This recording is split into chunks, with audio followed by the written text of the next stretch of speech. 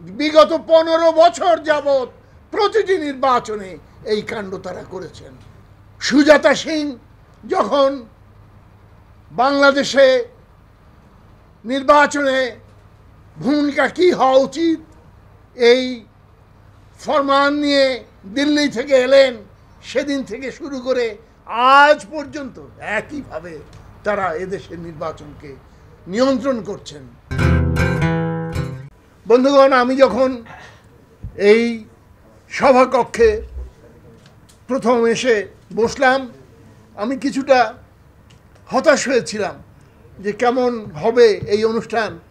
কিন্তু এই অনুষ্ঠানের সমা সমাপনীয় পর্যায়ে এসে দেখলাম, বাস্তবিকই একটা ব্যতিক্রম ধর্মী, একটা অনন্য সুন্দর, সারগর্ভ অনুষ্ঠান এখানে অনুষ্ঠিত হয়ে গেল। জানি না এর কতটুকু পাবলিসিটি কতটুকু প্রচার আমাদের গণমাধ্যমে আসবে, আমি জানি না। কিন্তু নিঃসন্দেহে এই প্রেরণাদায়ক এবং উৎসাহব্যঞ্জক এই গোল টেবিল বৈঠক, এই আলোচনা অনুষ্ঠান, আমাদের দেশের রাজনীতির এই মুহূর্তে অত্যন্ত প্রয়োজনীয়। সর্বত্র সমস্ত রাজনৈতিক কর্মীকে উজ্জীবিত করে তোলার জন্য এর প্রয়োজন।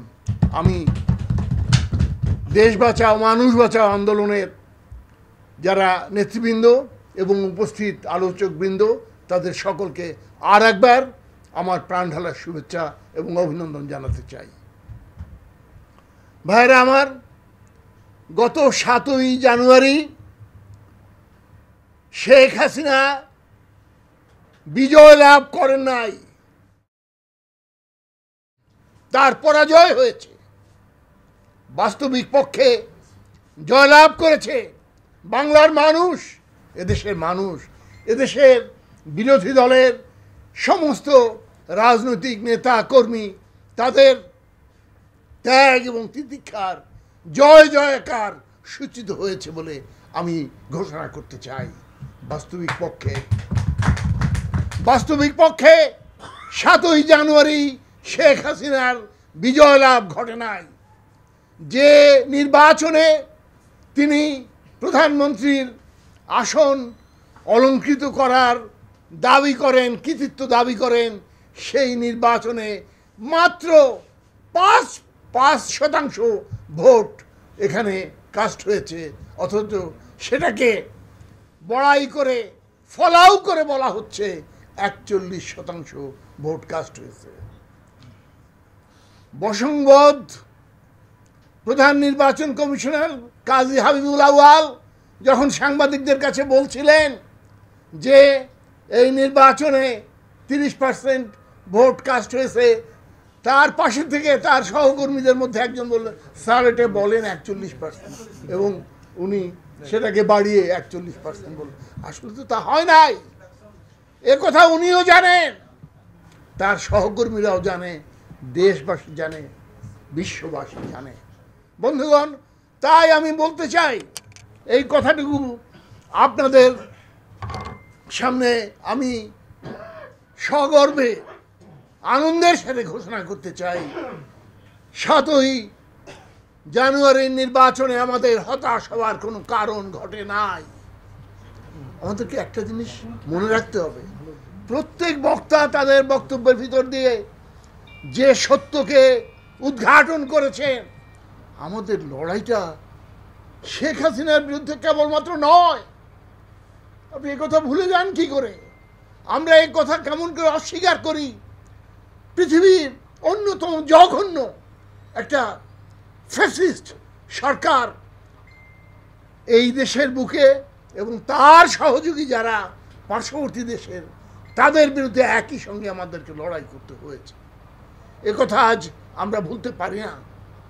এবং সমস্ত বক্তার বক্তব্যের ভিতর দিয়েই আপনারা বলেছেন যে বিগত পনেরো বছর যাবৎ প্রতিটি নির্বাচনে এই কাণ্ড তারা করেছেন। সেই সুজাতা সিং যখন বাংলাদেশে নির্বাচনে ভূমিকা কী হওয়া উচিত, এই ফরমান নিয়ে দিল্লি থেকে এলেন, সেদিন থেকে শুরু করে আজ পর্যন্ত একইভাবে তারা এদেশের নির্বাচনকে নিয়ন্ত্রণ করছেন। কাজে আমাদের লড়াই শেখ হাসিনার বিরুদ্ধে কেবলমাত্র নয়, এবং আজকের লড়াই, বন্ধুগণ, আপনারা প্রত্যেকেই যথার্থই বলেছেন, শুধুমাত্র ভোটের ন্যায় ভোট প্রয়োগের অধিকারের লড়াই নয়, মানবাধিকারের লড়াই নয় আজকের লড়াই আমাদের সার্বভৌমত্বের লড়াই। বাংলার স্বাধীনতা সার্বভৌমত্বের লড়াই, এটাই আজকে মুখ্য বিষয়বস্তুতে পরিণত হয়েছে। একটি মানব দেহে যখন রোগ ব্যাধি জন্মে, তখন তার প্রধান সংকট কোথায় সেটা যেমন চিহ্নিত করতে হয়, সমাজ দেহ তেমনিভাবে আজকে বিভিন্নমুখী সংকটের মধ্য দিয়ে আমাদেরকে বেছে নিতে হবে। আমাদের প্রধান দ্বন্দ্ব কোথায়? Principal contradiction in our society এটাকে চিহ্নিত করতে না পারলে আমরা আমাদের লড়াইয়ে জয়যুক্ত হতে পারব না।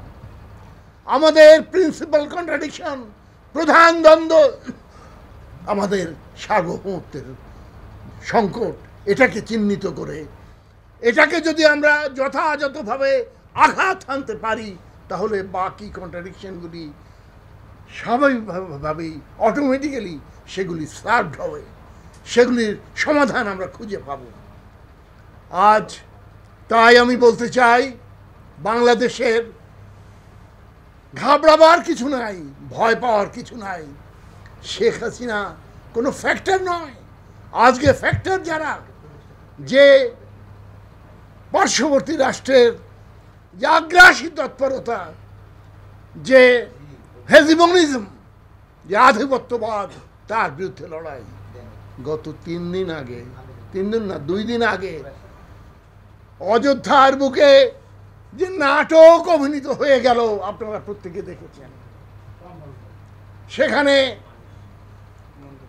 মন্দির করা দীর্ঘকালের একটি প্রতিষ্ঠিত মসজিদ ভেঙে দিয়ে সেখানে মন্দির করা, তাতেও আপত্তি ছিল না। সেখানে প্রকাশ্যে ঘোষণা করা হলো যে এই সমুদ্র হিমাচল, ভারত, কাশ্মীর, কান্দাহার থেকে শুরু করে বাংলাদেশ থেকে ব্রহ্ম, ব্রহ্মদেশ পর্যন্ত এই অখণ্ড ভারত প্রতিষ্ঠা করার সংকল্প তারা ঘোষণা করেছে। এরপরেও কি আজ বুঝতে আমাদের বাকি থাকে যে আমাদের লড়াই কোন পয়েন্টে আমাদেরকে চিহ্নিত করতে হবে পিন পয়েন্ট করতে হবে। এটা বাকি নেই। বন্ধুগণ, আজ তাই আমি বলতে চাই, আমাদের বক্তারা যারা বলেছেন যে বাংলাদেশের স্বাধীনতা সার্বভৌমত্ব রক্ষার লড়াইয়ে আজ আমরা নিয়োজিত, তাদেরকে সামগ্রিকভাবে জাতীয় ঐক্য গড়ে তোলার জন্য আমাদেরকে উদ্যোগ গ্রহণ করতে হবে। ছোট্ট একটা গল্প বলে আমার বক্তব্য আমি শেষ করব।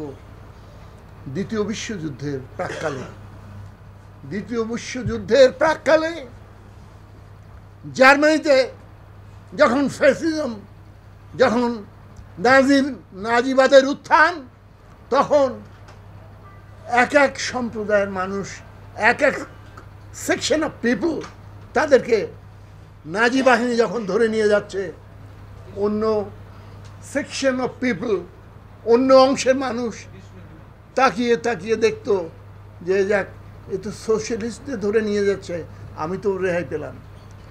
তার পনেরো দিন পরে আবার আর একটা নাজি বাহিনী এসে কমিউনিস্টদের ধরে নিয়ে যাচ্ছে আর একটা সেকশন বলছে দেখ আমি তো কমিউনিস্ট নই, আমি তো সোশ্যালিস্ট নই, আমি তো আমি তো এই বিপদ থেকে মুক্ত। কিন্তু তার পনেরো দিন পরে আবার যখন ঠুনকো অজুহাতে অন্য সেকশন অফ পিপল তাদেরকে যখন ধরে নিয়ে যাচ্ছে, তখন তারা উপলব্ধি করল একে একে সবাইকে নিশ্চিহ্ন করে দেওয়ার তৎপরতায় সরকার লিপ্ত। এবং অবশেষে যখন সৎ নিরীহ নির্বিকার জার্মানবাসী কেউ আর অবশিষ্ট থাকল না তখন তারা বুঝলো যে ভুলটা কি ভুলটা আমরা করেছি। ঐক্যবদ্ধভাবে প্রথম দিন থেকে যদি আজ আমরা একসাথে দাঁড়াতাম তাহলে এর বিরুদ্ধে আমরা জয়লাভ করতে পারতাম। ভাইয়েরা আমার ঠিক অনুরূপ পরিস্থিতি আজ বাংলার মাটিতে নেমে এসেছে। আজ আপনারা যে কথা বলেছেন আপনাদের কণ্ঠে কণ্ঠ মিলিয়ে আমি এই কথাটুকু বলতে চাই। দল মত নির্বিশেষে। ইসলামপন্থী বামপন্থী ইত্যাদি বিভেদ ভুলে গিয়ে দেশ মাতৃকার সন্তান সকলে মিলে ঐক্যবদ্ধভাবে এর প্রতিবাদে আমাদেরকে নামতে হবে। এই কথাটুকু বলে এবং দেশ বাঁচাও, মানুষ বাঁচাও আন্দোলনের নেতৃত্বে উদ্যোগে আজ যে আয়োজন করা হয়েছে সেমিনারের তাদেরকে ধন্যবাদ জানিয়ে আমার বক্তব্য এখানেই শেষ করছি। ধন্যবাদ।